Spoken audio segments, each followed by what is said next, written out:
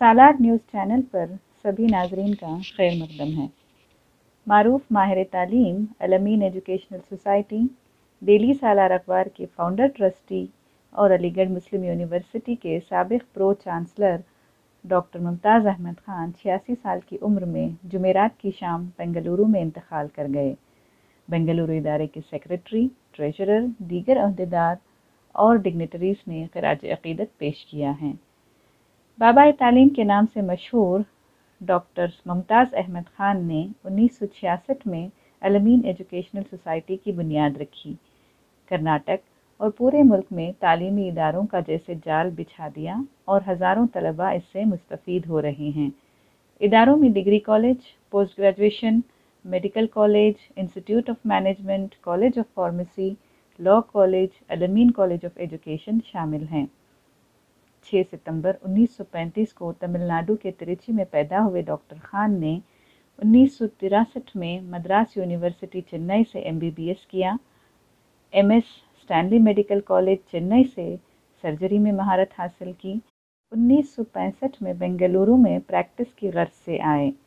लेकिन जब ये देखा कि मुस्लिम अखिलियत का कोई भी खातिर खा तालीमी इदारा नहीं है तिरची से बेंगलुरु आए डॉक्टर खान कहते हैं कि तिरची में जमाल मोहम्मद कॉलेज का निज़ाम काफ़ी फ़ायदा साबित हो रहा था, जहाँ न सिर्फ़ तालीम बल्कि मिलत के मसाइल पर भी गौर किया जाता।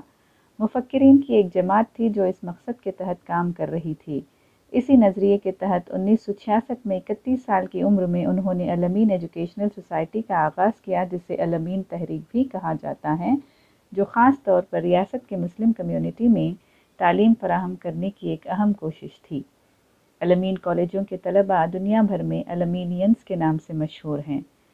1990 में Karnataka Rajyotsava award Kempegowda award, junior Jaycees award और public relation society of India award जैसे मुतद अवार्ड से नवाजे गए। कम्युनिटी के मेंबरों को मिसाली खदमात के अतराफ़ में हर साल दिया जाने वाला डॉक्टर मुमताज़ अहमद ख़ान अवार्ड उन्हीं के नाम से मंसूब है। सबक मरकज़ी वज़ी रहमान ख़ान कहते हैं कि अलमीन मोमेंट के ज़रिए मुमताज़ अहमद ख़ान ने कौम को एक विजन अता किया है। अपनी इंतहाई अकीदत के तौर पर उन्होंने कहा है कि मेरी किताब मुस्लिम्स द वे फॉरवर्ड इन्हीं नज़रियात पर मुबनी है। समाज की खिदमत करने का जज्बा हम दोनों को करीब ले आया। उन्होंने ऐसे वक्त में डिग्री कॉलेज क़ायम किया जबकि रियासत में कोई ऐसा तालीमी इदारा नहीं था। हम चार खान थे, जिन्हें फोर खान्स की टीम कहा जाता था, जिनमें मुमताज़ अहमद ख़ान, इब्राहिम खलीलुल्लाह ख़ान, मकसूद अली ख़ान और रहमान ख़ान थे। ये सभी मेंबरान और उनकी मज़बूत सोच का नतीजा है जो इस तहरीक ने कामयाबी हासिल की, वो यकीनन एक मर्द मुजाहिद थे। अपनी किताब माई मेमोर्स में the saga of the Alameen movement नामी बाब में रहमान ख़ान साहब लिखते हैं कि अलमीन एजुकेशनल सोसाइटी से मेरा ताल्लुक़ उसके क़्याम के तीन साल बाद उन्नीस सौ उनहत्तर से है। सोसाइटी की एग्जीक्यूटिव कमेटी में उन्नीस सौ उनहत्तर से उन्नीस सौ बहत्तर तक पूरी मुद्दत के लिए मैं रुकन रहा। अज़ीज़ सेठ साहब ने बहसीत वक्त मिनिस्टर, सोसाइटी को छः एकड़ ज़मीन लाल बाग के बिल्कुल सामने लीज पर हासिल करने में मदद की। कुछ लोगों ने गैर क़ानूनी कब्ज़ा कर लिया। मुमताज़ अहमद ख़ान ने जान की बाजी लगाकर तजावज़ात को ख़त्म किए।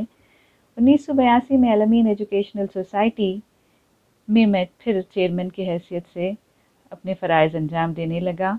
अलमीन कॉलेज के तलबा की पहली बैच बहुत रोशन थी। इसमें ज़मीर पाशा जैसे तलबा भी शामिल थे, जो बाद में आईएएस ऑफिसर बने और सदाकत पीरान जो अलमीन सोसाइटी के सेक्रेटरी बने।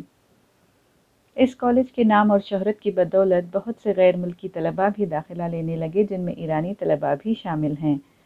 ताकि जो अलमीन के स्टूडेंट हैं, ईरान के वज़ीर ख़ारिजा भी बने। रहमान खान कहते हैं कि मेरी चेयरमैनशिप की मुद्दत के दौरान पीजी के नए कोर्सेज शुरू किए जैसे फार्मेसी बायोलॉजी और केमिस्ट्री और नए कॉलेजों में BEd college law college college of management और होटल मैनेजमेंट का कॉलेज शामिल हैं। उन्हीं दिनों मशहूर और मरूफ प्रेस्टीज ग्रुप ऑफ़ बिल्डर्स के इरफान रजाक साहब बतौर सेक्रेटरी सोसाइटी में दाखिल हुए और नहायत तजुर्बेकार बिल्डर्स की हैसियत से चेयरमैन के साथ मिलकर एक शानदार कॉलेज बिल्डिंग तामीर करने में शाना बशाना रहे। डॉक्टर मुमताज़ अहमद ख़ान ने कमेटी के मेंबरों को मशवरा दिया कि वो अलमीन सोसाइटी के लिए रहमान ख़ान साहब की खिदमत को तस्लीम करें और साल 2000 के Alameen all India community leadership award के लिए नामजद किया गया और एक शानदार तकरीब में इस अवार्ड से उन्हें नवाजा गया। खान साहब, दुआ गो हैं कि अपनी 18 साल की खिदमत और कुछ शोबों की मकबूलियत के लिए जद्दोजहद की बुनियाद पर मैं खुदा से तलब करता हूँ कि वो इस इदारे को सलामती अता करे जो कुछ मुफक्रीन की, अनथक कोशिशों की बदौलत मुस्लिम बरदरी की अलामत बन गया है। अलमीन कॉलेज के ट्रेजरर इकबाल अहमद बेग कहते हैं कि मुमताज़ अहमद ख़ान कभी एतराज़ात में नहीं उलझा करते। मसलन, उन्नीस सौ तिरासी में Alameen all India educational conference मुनद की गई, जिसमें मुल्क के माहरीन तालीम और विजनरीज शहर में जमा थे। और ऐसे वक्त में यहाँ के एक अखबार ने उनकी मुखालफत में सफ़े सियाह कर दिए। और जब हम सबने खान साहब से इस ताल्लुक़ से बात की तो उन्होंने महज इतना कहा कि, लोग तो लिखते रहेंगे, मगर हमें काम करना है, और काम इतना ज़्यादा है कि इन खुराफात में वक्त ज़ाया नहीं कर सकते। बेग साहब कहते हैं कि एक ख़ानदानी और तालीम याफ्ता इंसान की बेहतरीन मिसाल उनसे बढ़कर कौन हो सकते हैं? Alameen medical college first minority medical college in South Asia है और गिनीज बुक में इसका तस्करा है। ये इनका एक और कारनामा है।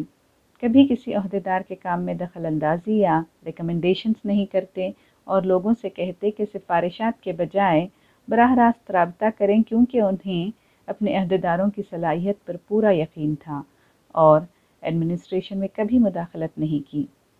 डिसेंट्रलाइज तरीक़े पर काम करते जिससे काम करने वाले पर दबाव भी नहीं होता था और अतमाद भी कायम रहता था।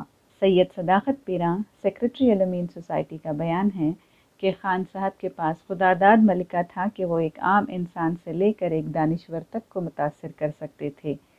किसी को भी ख्याल कर सकते थे, तालीमी इदारा क़ायम करने के लिए उभार सकते थे, जबकि ऐसे वक्त में अपनी औलाद को भी ख्याल करना आसान नहीं। उनका अकीदा था कि तालीम के बग़ैर तरक्की नामुमकिन है। नाजरीन, अखलाक़ी अकदार और रूहानी इरतखा दरअसल किसी भी इंसान को न सिर्फ़ कौम की बल्कि पूरी इंसानियत की खिदमत पर उभारता है। सालार न्यूज़ चैनल से जुड़ने के लिए आप तमाम का शुक्रिया।